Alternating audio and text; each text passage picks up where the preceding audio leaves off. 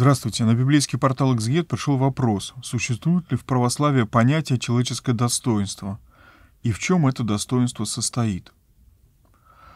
А, в послании к Колосинам в первой главе апостол Павел пишет, что он молится о своих чадах из города Колоссы, о том, чтобы они поступали достойно Бога во всем угождая Ему, принося плод во всяком деле благом и возрастая в познании Бога.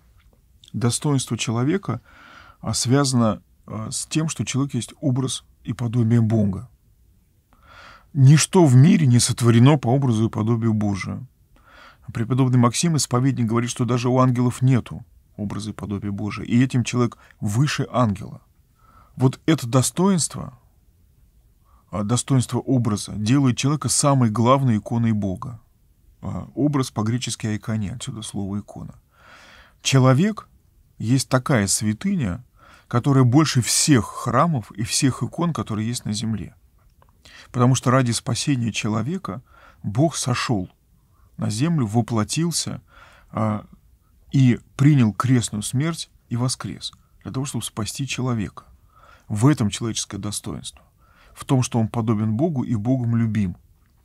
А, если человеческим достоинством мы называем гордыню, то мы, конечно, ошибаемся.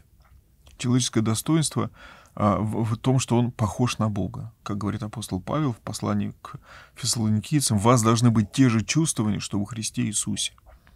Это святость, это чистота, это целомудрие, это любовь, это милосердие, это сострадание.